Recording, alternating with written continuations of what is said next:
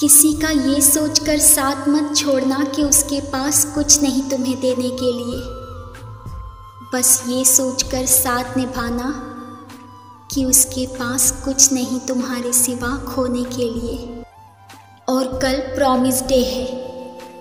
सोच समझकर किसी से वादा करना, क्योंकि वादे अक्सर निभाने वाले कम और तोड़ने वाले सादा मिलते हैं। साथ रहने की फॉर्मेलिटी नहीं। साथ निभाने का प्रॉमिस करो।